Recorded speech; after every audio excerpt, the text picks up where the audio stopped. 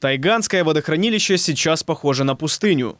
Воду отсюда откачали на восток полуострова. Зато потоками льются обещания российских властей победить водный дефицит. Дескать, построят новые резервуары, проложат водопровод с Кубани и даже морскую воду будут опреснять. Но этими рассказами не напоить крымчан. Питьевой воды не хватает каждому пятому жителю. Уже пострадали сельское хозяйство и садоводство. Сколько воды, таковы и плоды.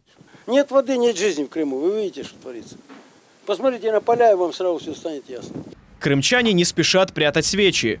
Свет пропадает и в селах, и в больших городах.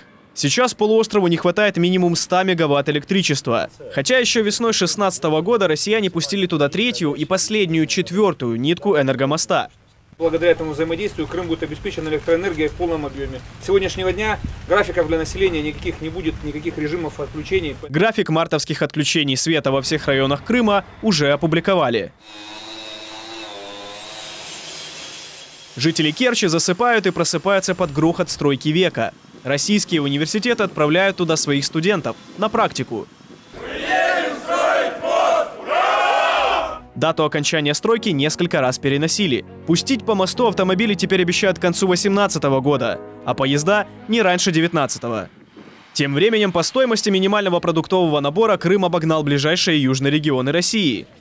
То ли из-за дороговизны, то ли из-за проблем с транспортом туристы не спешат в Крым. В прошлом году курорт посетило чуть более полутора миллионов отдыхающих, сообщала Ассоциация индустрии гостеприимства Украины. Российские же власти насчитали все 5,5 миллионов.